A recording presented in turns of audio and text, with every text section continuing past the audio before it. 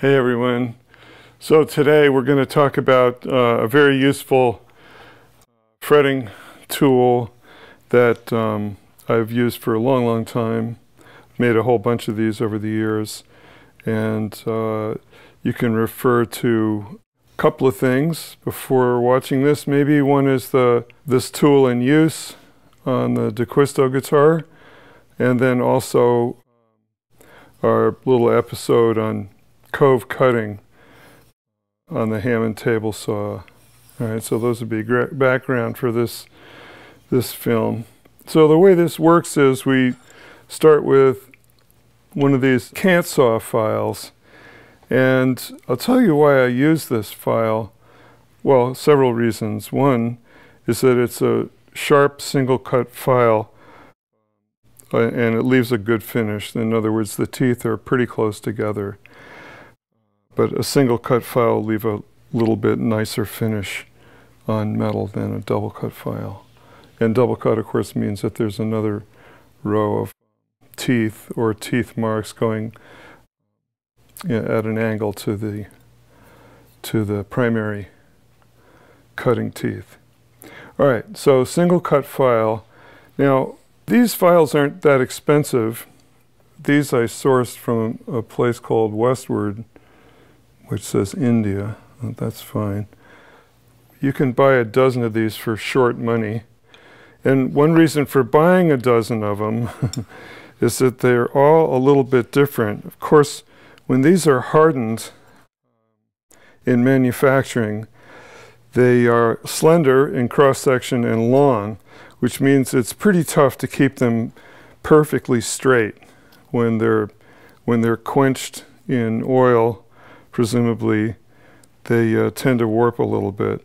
So it's nice to start out with a dozen so you can pick the ones you like. Now, um, this one I, I believe is a little bit hollow. In other words, it's curved in this direction so that there's a, an, a space. When you set it on something flat, there's a little space in the middle, and here's a 4 thousandths gauge and a 5 thousandths gauge. So five barely gets in there. So we're going to call that about five thousandths bent. Um, so concave from here to here. Now that's not optimum for what we're trying to do. The function of this file is to uh, level fret tops on the guitar um, or, re or reduce the height of them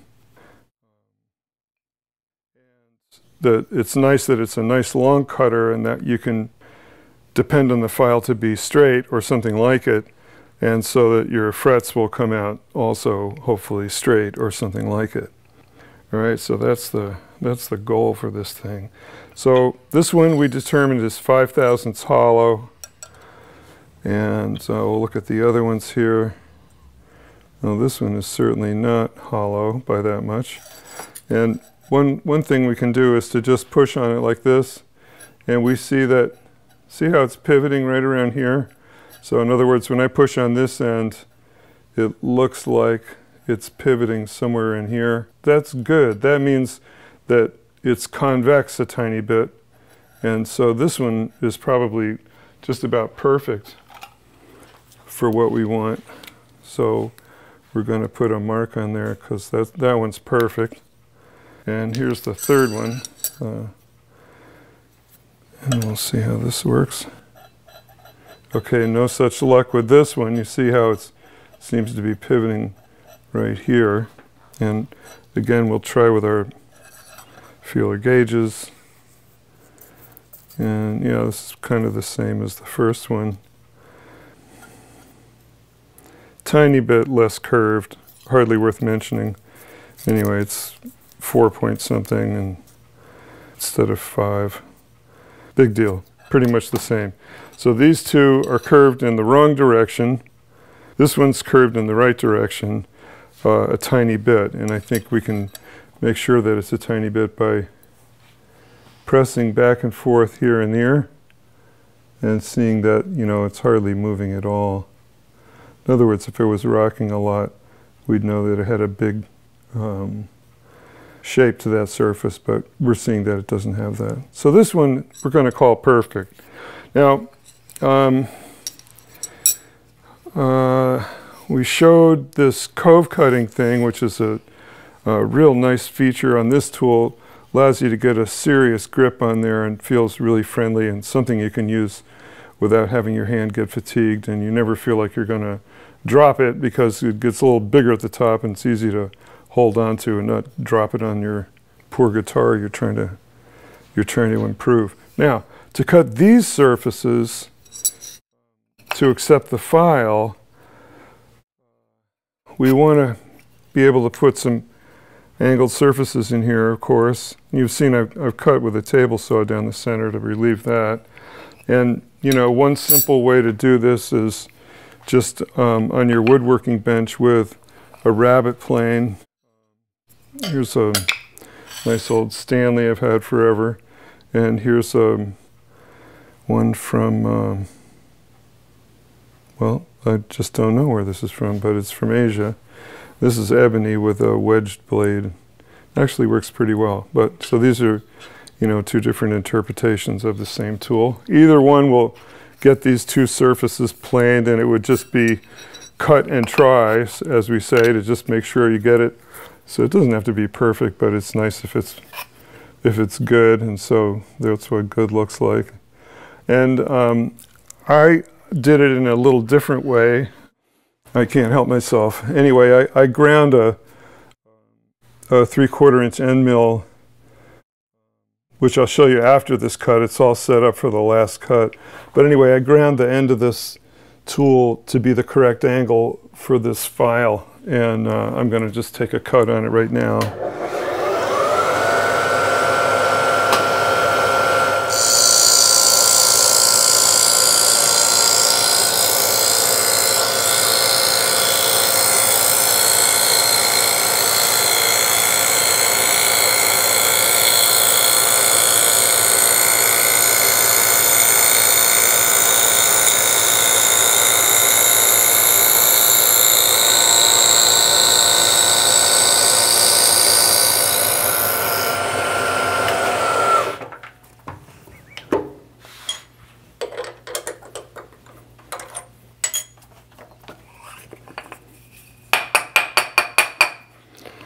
Okay.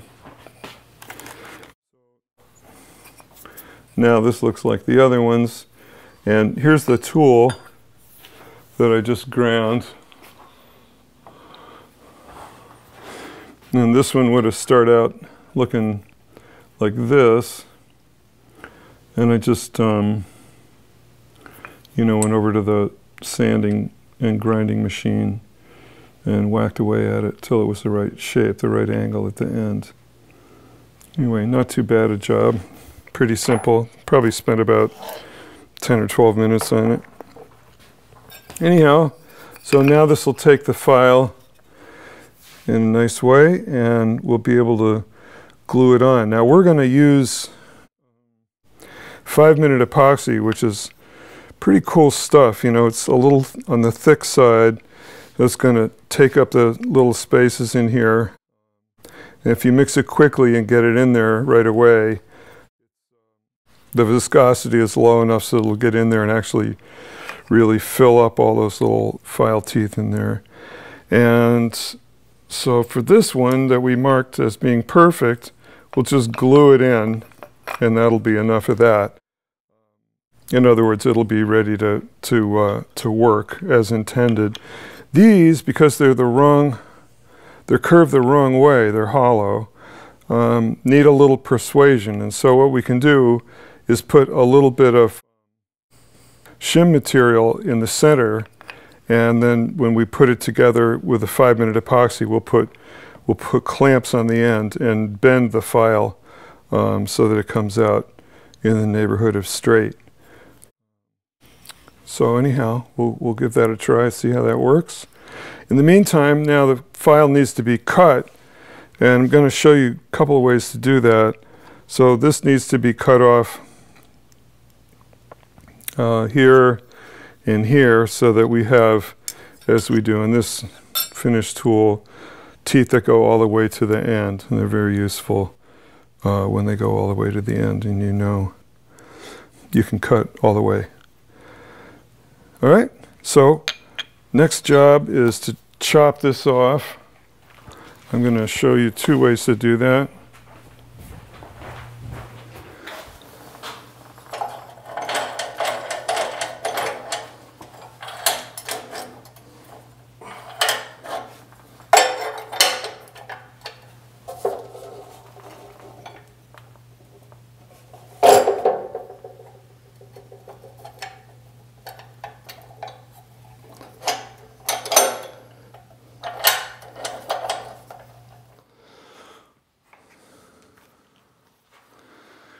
So this saw has a, a blade that's designed to cut metal, steel.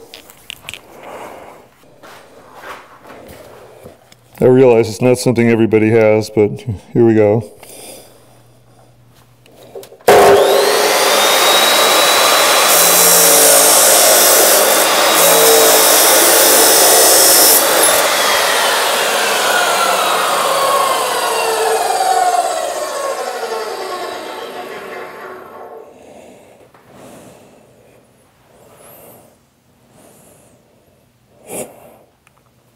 You can see we made quick work of that. Um, but let me show you the other way. So this is the uh, Dremel tool and it has um, it has a, uh, a parting disc or a separating disc or cutoff disc, whatever you want to call it. And you can see on the back uh, evidence that it's it's made of um, a cloth material that's um, coated with resin and abrasive grit. And, and this, we're going to be able to uh, take a cut.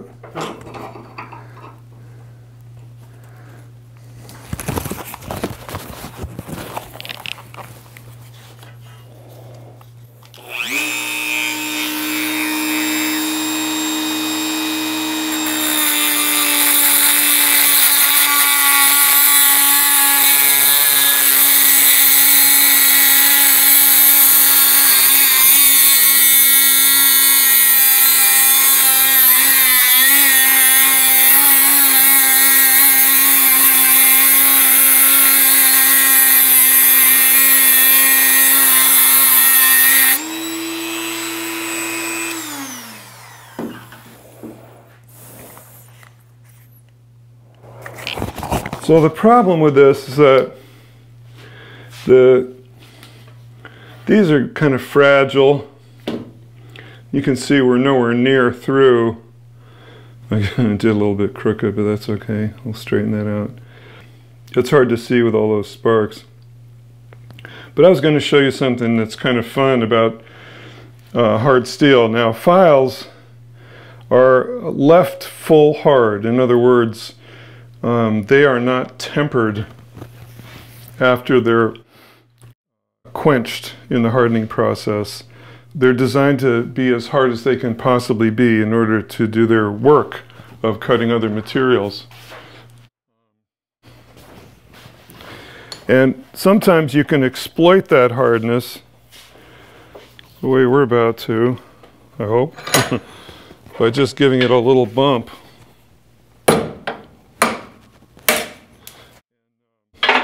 It'll fail nicely uh, right where it's supposed to. Okay. And, and keep us from having to cut the rest of that. So now I'm going to clean up the ends of this on the belt sander and get ready to glue it in.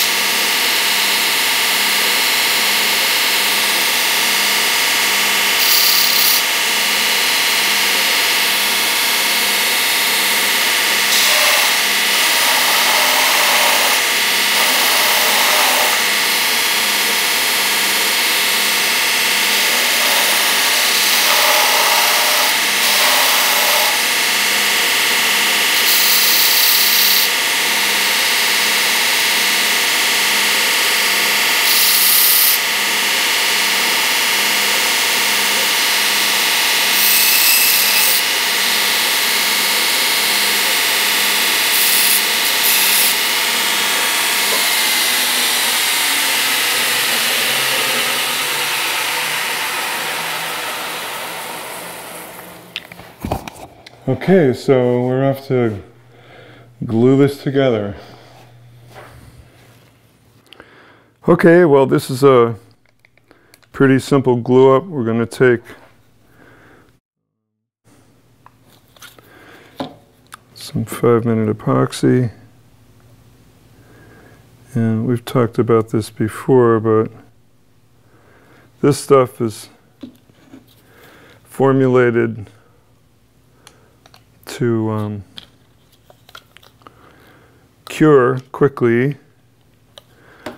Uh, and strength isn't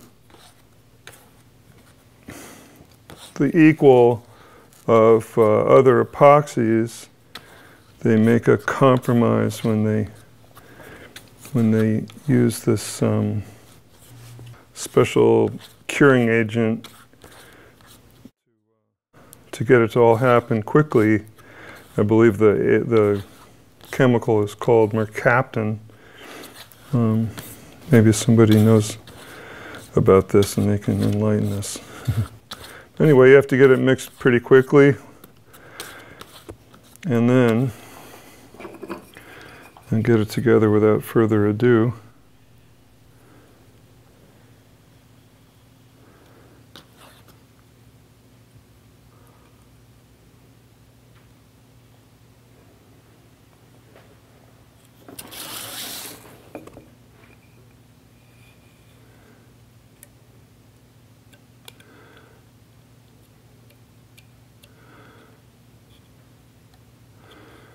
This piece of wood is a little oversized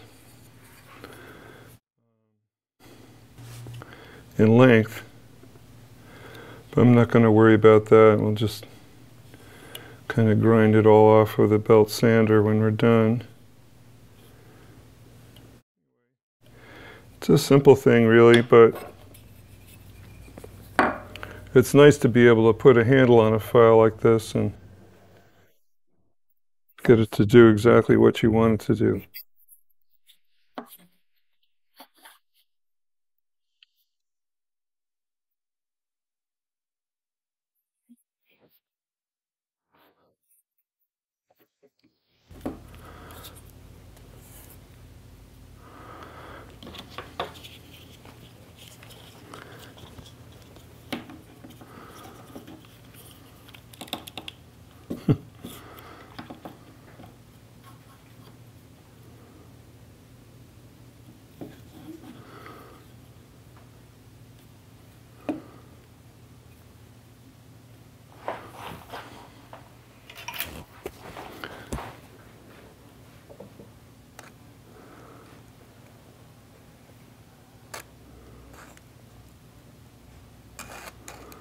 That seems like what we want.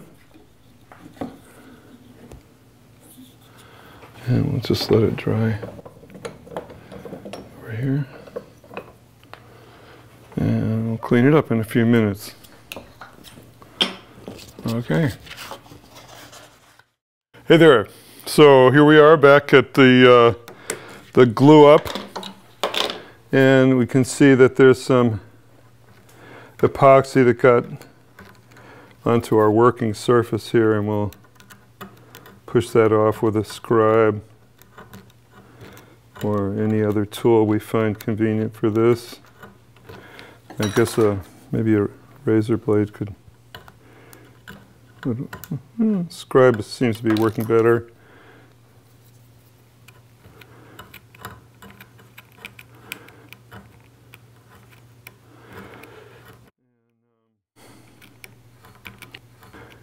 You can see that the epoxy is not super hard. And it's one of the things that's that makes this such a versatile adhesive for um, for a variety of things here in in our work life. It's nice because it it's got enough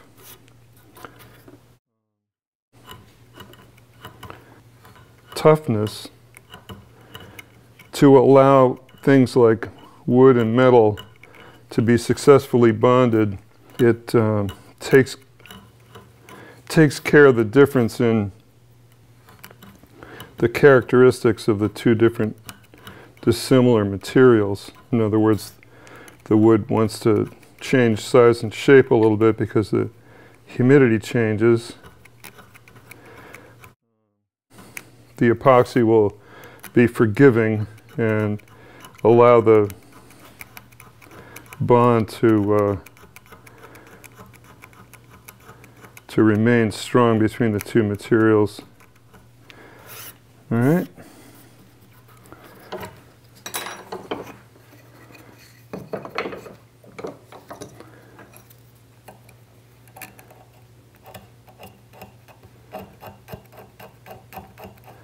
This is um, a way that you can clean a file when it's been in use, which is called pinning a file. And just a way to, you know, somewhat labor intensive way because you have to hit every groove, but it works and uh, doesn't damage the file.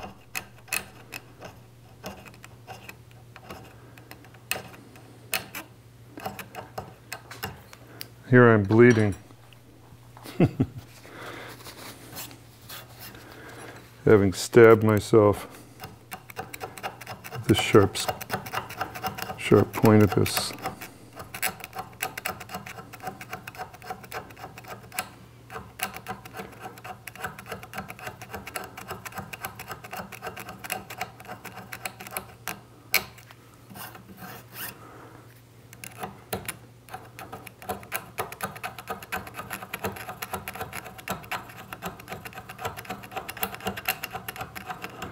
Okay. Well, this is oversized. The handle is oversized. Um, so I'll be cutting down the, the height of it somewhat.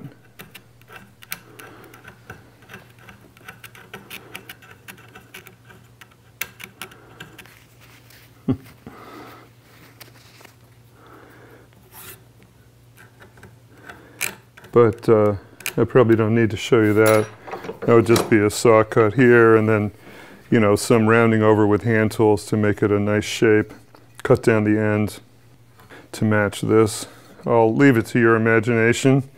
Uh, in the meantime, I wanted to point out again that it's useful to just when you have this file on your bench, it's, it's nice to have an arrow that shows what the cutting direction is and also uh, sideways arrow to remind you of the sideways vector that the um,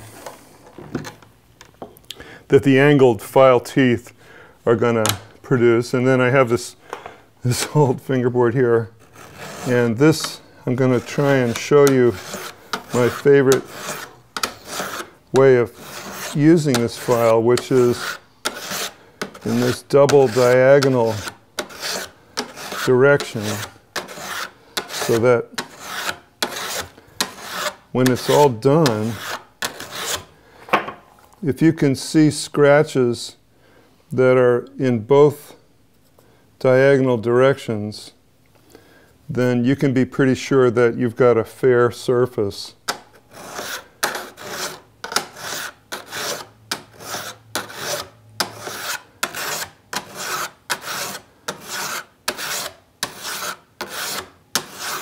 and helps to um, even out little anomalies and issues with fret height. Anyway, that's the deal. That's the tool. Love that tool. Been using it for decades and served me well for frets.